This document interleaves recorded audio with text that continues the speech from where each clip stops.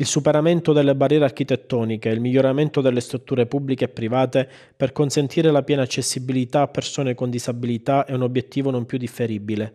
In questa direzione va letta l'iniziativa del centro ortopedico Aliotta di Gela che ha donato due moderne carrozzine ad autospinta che consentiranno ai visitatori con disabilità motorie di visitare il parco archeologico della città nissena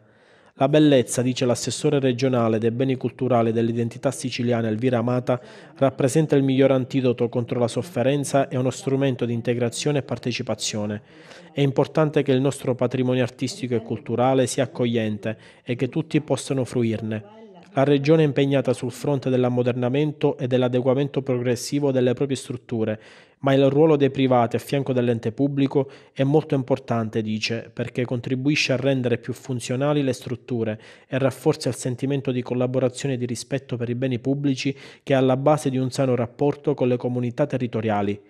Pensiero condiviso da Alessandro Guarnera, amministratore delegato del centro ortopedico Aliotta, Lavoriamo per alleviare la sofferenza del corpo e contribuiamo affinché venga alleggerita anche quella dell'anima. Il centro Aliotta in passato è stato promotore di analoghe iniziative anche in altri luoghi della Sicilia, con l'obiettivo di favorire la piena accessibilità dei luoghi della cultura ai soggetti con disabilità.